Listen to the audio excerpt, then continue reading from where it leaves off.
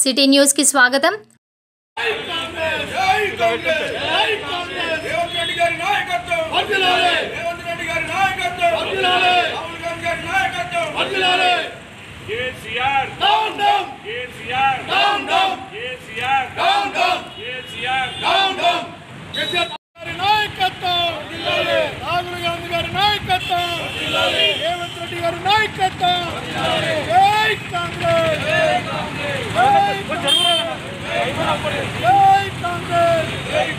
రేవంత్ రెడ్డి గారి నాయకత్వం!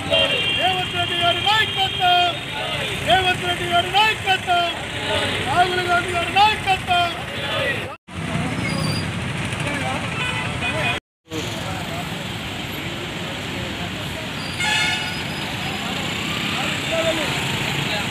జై కాంగ్రెస్ జై కాంగ్రెస్ జై కాంగ్రెస్ జై కాంగ్రెస్ రేవంత్ రెడ్డి గారి నాయకత్వం రేవంత్ రెడ్డి గారి నాయకత్వం రాహుల్ గాంధీ గారి నాయకత్వం సోనియా గాంధీ గారి నాయకత్వం. జై కాంగ్రెస్ జై కాంగ్రెస్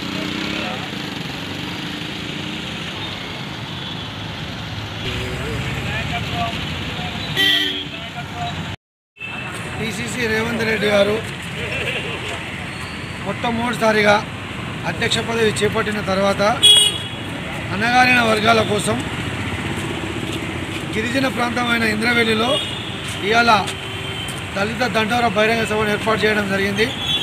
ఆ సభను విజయవంతం చేయడం కోసం వరంగల్ తూర్పు నియోజకవర్గం నుంచి బయలుదేరడం జరుగుతూ ఉంది. కేసీఆర్ యొక్క అహంకార పూరితమైన ప్రభుత్వాన్ని కూలదోయడం కోసం ప్రజలకు ఏదైతే మేలు జరగాలని కృతనిశ్చయంతో కాంగ్రెస్ పార్టీ మొదటి నుంచి నేటి వరకు కూడా పాల్పడుతూ ఉంటుంది. దానిలో భాగంగానే ఇలా ఒక అడవి ప్రాంతాన్ని ఎంచుకొని మొదటి కార్యక్రమాన్ని విజయవంతం చేయడం కోసం ఇవాళ రేవంత్ రెడ్డి గారు బహిరంగ సభ పెట్టిళ్ళు అది విజయవంతం కావాలని మనస్ఫూర్తిగా కోరుకుంటూ కాంగ్రెస్ పార్టీయే ప్రజలకు మేలు చేస్తుంది. ప్రజలు కూడా గమనించాలి. అహంకారపూరితమైన కేసీఆర్ ప్రభుత్వాన్ని గద్దెదించడానికి సమర శంఖావనమే దళిత దండోరా. దానికి మేమందరం బయలుదేరిపోతా ఉన్నాం. జై రేవంత్ రెడ్డి గారు. జై కాంగ్రెస్. దళిత గిరిజన ఆత్మ గౌరవ దండోరకు ఈరోజు మా వరంగల్ నుంచి బయలుదేరి పోవడం జరుగుతున్నది.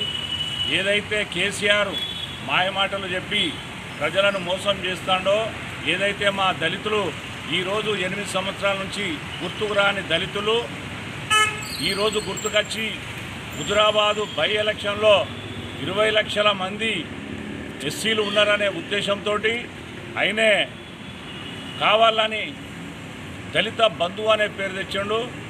ఆయన మోసపూరితం అని చెప్పి చెప్పక తప్పదు.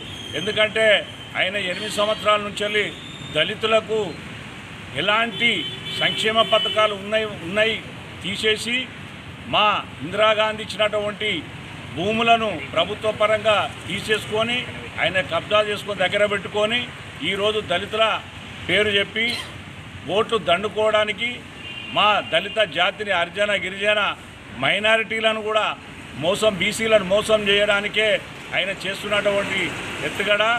రెండు వేల కోట్ల లక్షల కోట్ల రూపాయలు నేను ఖర్చు పెడతా అని చెప్పంటే మేము దానికి స్వాగతిస్తాం. కానీ ఆయన ఏదైతే ఉన్నదో ముప్పై మూడు జిల్లాల లోపల ఉండబడేటువంటి దళితులకు కానీ అట్లనే బీసీలకు కానీ మైనార్టీలకు కానీ మా ఎస్టీ మా అన్నదమ్ములందరికీ కూడా ఆయన పంచిపెడితే దానికి స్వాగతిస్తాము.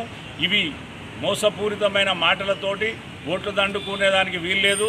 ఆయనే ఏదైతే ఎత్తుగడలు ఉన్నాయో ఈ ఇక చెల్లై ఎందుకంటే దళితులు కూడా మేల్కొన్నారు. ఇవన్నీ అబద్ధం మాటలు బూటకం మాటలు అని చెప్పడం తేలిపోయింది. కేసీఆర్ గారు ఈ నుంచి వెళ్ళి ఇలాంటి మాయమాటలు చెప్పి మా దళితులను మోసం చేయొద్దని చెప్పని ఏదైతే ఏదైతే ఇంద్రవెల్లి బహిరంగ సభ ఉన్నదో దాన్ని దిగ్విజయం చేసుకోవడానికి మేము వరంగల్ నుంచి బయలుదేరిపోతున్నాం.